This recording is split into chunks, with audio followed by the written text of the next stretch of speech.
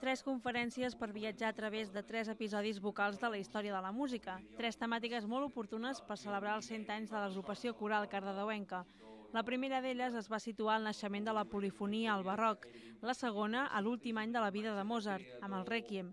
Finalment, per completar la tríada, Carmina Burana ha estat la gran protagonista de la darrera xerrada de Joan Vives. Totes tres conferències han tingut una molt bona rebuda, amb una mitjana de 90 persones d'assistència. Bàsicament, a més, la gent repeteix, per tant vol dir que li ha agradat i que s'ho passa molt bé. Surts d'aquí amb ganes d'anar a buscar un disc ràpidament del, de, del personatge, del músic que ens ha parlat el Joan Vives per tant, la veritat és que és eh, una enciclopèdia aquest home i, i a més un gran comunicador i ens ho passem molt bé escoltant. Les tres xerrades han servit de prèvia a les activitats de celebració del centenari de la Coral.